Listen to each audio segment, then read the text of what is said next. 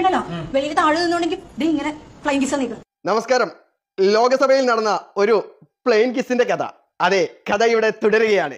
അപ്പോൾ എന്തായാലും നമ്മുടെ സ്മൃതി ഇറാനിക്ക് മണിപ്പൂരിലെ സ്ത്രീകൾ അനുഭവിച്ചതിനെ കുറിച്ച് ഒരക്ഷരം പോലും പറയാൻ നാവില്ല എന്നുള്ളതാണ് ഇതിലെ മറ്റൊരു സത്യം. പക്ഷേ തനിക്കെതിരെ പ്ലെയിൻ കിസ് നൽകാത്ത രാഹുൽ ഗാന്ധിയെ പ്ലെയിൻ കിസ് നൽകി എന്ന് പറഞ്ഞുകൊണ്ട് ഈ പറയുന്ന സ്മൃതി ഇറാനി രാഹുൽ ഗാന്ധിക്കെതിരെ ഒരു ആരോപണം ഉന്നയിച്ചിട്ടുണ്ട്. അപ്പൊ അതിന്റെ സത്യം എന്താണ് എന്നുള്ളത് ഈ പറയുന്ന ലോക്സഭയിൽ നടന്ന ആ വീഡിയോ ദൃശ്യങ്ങളിൽ നിന്ന് തന്നെ നമുക്ക് വളരെ വ്യക്തമാക്കിയിട്ട് മനസ്സിലാക്കാം. പക്ഷെ അതിനു മുൻപ് ഞാൻ കുറച്ച് കാര്യങ്ങൾ പറയാനുള്ളത് മറ്റൊന്നുമല്ല. I N D I A എന്ന് പറയുന്ന പ്രതിപക്ഷ സഖ്യത്തെ ഈ പറയുന്ന ബി ജെ പി നല്ലവണ്ണം ഭയക്കുന്നുണ്ട് എന്നുള്ള കാര്യത്തിൽ സംശയമല്ല. കാരണം അതിന് ചുക്കാൻ പിടിക്കുന്നത് രാഹുൽ ഗാന്ധി ആയതുകൊണ്ട് തന്നെ ലോകസഭയിൽ നിന്നും എങ്ങനെയെങ്കിലും ഈ പറയുന്ന രാഹുൽ ഗാന്ധിയെ പുറത്താക്കണം. അതിനു വേണ്ടിയിട്ട് എന്ത് നാറിയ കളിയും കളിക്കാൻ ഈ പറയുന്ന ബി ജെ പി തയ്യാറാണ് അല്ലെങ്കിൽ ചെയ്തുകൊണ്ടിരിക്കുകയാണ്. അതാണ് ഇപ്പോൾ ഇവിടെ സംഭവിക്കുന്നത്.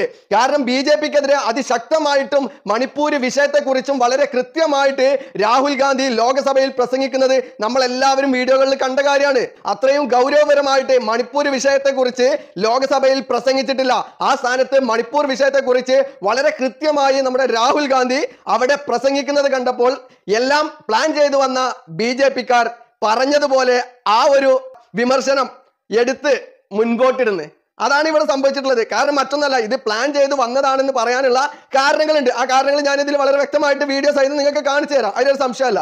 ഈ പറയുന്ന രാഹുൽ ഗാന്ധിയെ എങ്ങനെയെങ്കിലും ലോകസഭയിൽ നിന്ന് അല്ലെങ്കിൽ ഈ പറയുന്ന ലോകസഭയുടെ അകത്ത് നിന്ന് വെളിയിലാക്കണം. അതിനു വേണ്ടിയിട്ടാണ് ഇപ്പോൾ ഇതിന് മുൻപ് കളിച്ച കളികളൊക്കെ. എന്തായാലും അതിൽ രാഹുൽ ഗാന്ധി കുറ്റക്കാരനല്ല എന്ന് മനസ്സിലാക്കി വീണ്ടും ലോക്സഭയുടെ അങ്കണത്തിലേക്ക് തിരിച്ചെത്തിയപ്പോൾ വീണ്ടും ഇതാ അടുത്ത ഒരു നുണപ്രചരണവുമായിട്ട് ബി ജെ പിക്കാർ വന്നിരിക്കുന്നത്. അപ്പൊ എന്തായാലും നമുക്ക് ലോക്സഭയിൽ നടന്ന ആ വിഷയത്തിൽ ആ വീഡിയോസ് ഒന്ന് കാണാം. വീഡിയോസ് കാണുമ്പോൾ പ്രത്യേകം ശ്രദ്ധിക്കേണ്ടത് പ്ലെയിൻ കിസ് കൊടുക്കുന്നത് ഈ പറയുന്ന ഹോണറബിൾ സ്പീക്കറിന്റെ അടുത്തേക്ക് നോക്കിയിട്ടാണോ? അതായത് നമ്മളൊക്കെ സാധാരണ ഞാനൊന്ന് സംസാരിച്ചോട്ടെ ഞാൻ എന്തെങ്കിലും ഒന്ന് പറഞ്ഞോട്ടെ എന്നുള്ള രീതിയിലൊക്കെ നമ്മളൊക്കെ ഇതുപോലെ ആക്ഷൻ കാണിക്കാറുണ്ട്. അല്ലെങ്കിൽ പിന്നെ പ്ലെയിൻ കിസ് എന്ന് പറയുന്നത് നമ്മുടെ അന്യലിൽ ഒരു പ്ലെയിൻ കിസ് കൊടുക്കണ്ടല്ലോ? ഇതാണ് പ്ലെയിൻ കിസ് പറയുന്നത്. അല്ലെങ്കിൽ ഇങ്ങനെ പറയുന്നത് പ്ലെയിൻ കിസ് ആണ്. അങ്ങനെ പല രീതിയിൽ പല ആക്ഷനിൽ പ്ലെയിൻ കിസ് കൊടുക്കാൻ കഴിയും. പക്ഷേ ഇവിടെ ഈ പറയുന്ന ആക്ഷന് രാഹുൽ ഗാന്ധി കാണിച്ചിട്ടുള്ളത് സ്പീക്കറുടെ നേരെയാണ് അല്ലെങ്കിൽ സ്പീക്കറുടെ ചേംബറിന് നേരെയാണ് എന്നുള്ളത് നിങ്ങൾക്ക് ഈ വീഡിയോ കാണുമ്പോൾ മനസ്സിലാവും. എന്തായാലും ആ വീഡിയോ ഒന്ന് കണ്ടോ ഈ വീഡിയോയിൽ വളരെ കൃത്യമായിട്ട് മാർക്ക് ചെയ്ത് സൂം ചെയ്ത് എടുത്തിട്ടുണ്ട് ആ വിഷയം. അപ്പോൾ ആ വീഡിയോയിൽ നിങ്ങളൊന്ന് കണ്ടോക്കും. ഇതിൽ വളരെ കൃത്യമായിട്ട് നിങ്ങൾക്ക് കാണാൻ കഴിയും. എന്ത്? ഈ പറയുന്ന രാഹുൽ ഗാന്ധി സ്പീക്കറിന് നേരെയാണ് ഈ പറയുന്ന ആക്ഷൻ കാണിക്കുന്നത്. ആ ആക്ഷൻ കാണിക്കൽ കഴിഞ്ഞതിന് ശേഷമാണ് ഈ പറയുന്ന സ്മൃതി റാണിയുടെ ഭാഗത്തേക്ക് തിരിഞ്ഞു നോക്കുന്നത്. അത് വളരെ കൃത്യമായിട്ട് നിങ്ങൾക്ക് ഈ വീഡിയോയിൽ കാണാൻ കഴിയും. അതുപോലെ തന്നെ ഈ വീഡിയോയിലല്ല തൊട്ടടുത്ത ഒരു വീഡിയോ ഉണ്ട്.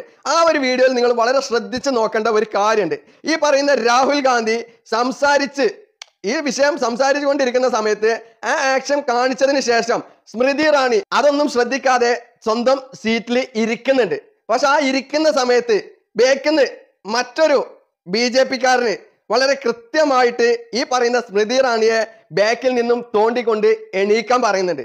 അതായത് ഇത് വളരെ വ്യക്തമായിട്ട് പ്ലാൻ ചെയ്ത് വന്ന ഒരു വിഷയം. അതായത് രാഹുൽ ഗാന്ധി എന്തെങ്കിലും ഒന്ന് പറഞ്ഞു കഴിഞ്ഞാൽ ഈ മണിപ്പൂർ വിഷയം രാഹുൽ ഗാന്ധി ചർച്ചയ്ക്ക് ഇട്ട് കഴിഞ്ഞാൽ അല്ലെങ്കിൽ ഈ പറയുന്ന മോദിക്കെതിരെ രാഹുൽ ഗാന്ധി വിമർശനവുമായിട്ട് വന്നു കഴിഞ്ഞാൽ രാഹുൽ ഗാന്ധിക്കെതിരെ ഇല്ലാ കഥകൾ പറഞ്ഞുകൊണ്ട് എന്തെങ്കിലും പടച്ചു വിടണം എന്നുള്ള ഒരു തീരുമാനം ആദ്യമേ ഈ ബി ജെ പിക്കാരെല്ലാം കൂടിയിട്ട് ഒത്തുകൂടി എടുത്തു വന്നുകൊണ്ടാണ് ഈ പറയുന്ന ലോക്സഭയിൽ ഇരിക്കുന്നത്. അതിന്റെ ഒരു തെളിവാണ് ഈ പറയുന്ന വീഡിയോ. വളരെ കൃത്യമായിട്ട് നിങ്ങൾക്ക് നോക്കിക്കഴിഞ്ഞാൽ മനസ്സിലാവും. സ്മൃതി റാണിയുടെ ബാക്കിൽ ആ പറയുന്ന ബി ജെ പിക്കാരന് തോണ്ടുമ്പോഴാണ് ഈ പറയുന്ന സ്മൃതി റാണി എണീറ്റുകൊണ്ട് ഈ കാര്യങ്ങളൊക്കെ പറയുന്നത്.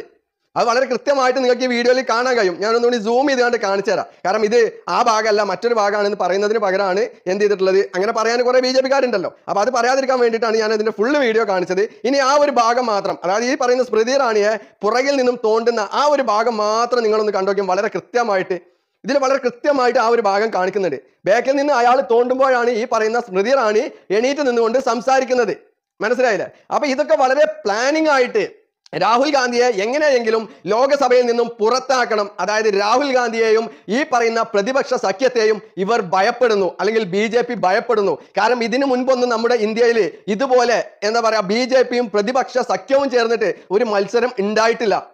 കാരണം ഇവിടെ ഉദ്ദേശിക്കുന്നത് എല്ലാ ജനങ്ങളും ആഗ്രഹിക്കുന്നത് ബി ജെ പിയുടെ ഈ നെറികെട്ട ഭരണം ഇല്ലാതെയാകണം. ഇന്ത്യ പഴയതുപോലെ സ്വതന്ത്ര രാഷ്ട്രമായിട്ട് ജാതി മത രാഷ്ട്രീയ ഭേദമന്യേ ഒന്നിച്ചു നിന്നുകൊണ്ട് എല്ലാവർക്കും സ്വതന്ത്രമായി ജീവിക്കാൻ കഴിയുന്ന ഒരു രാജ്യമാവണം എന്നുള്ളതാണ് എല്ലാവരും ആഗ്രഹിക്കുന്നത്.